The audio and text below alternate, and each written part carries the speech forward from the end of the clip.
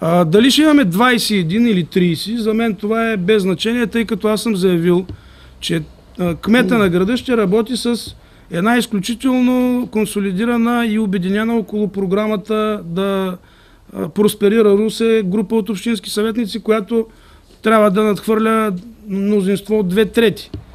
Категорично с реформаторите ще работим заедно. Мисля, че има поне три групи общински съветници, които влизат. Днес как бегло ги броих.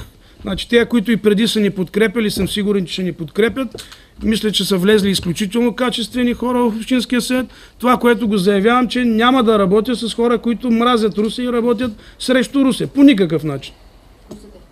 Те се знаят кои са и вие ги знаете кои са. Тия, които опитваха да саботират пробива при Родина, тия, които саботираха Тутракан, тия, които саботираха спортната зала, те си получиха оценката от гражданите. За мен те не са граждани, за мен са хора, които работят срещу Русе.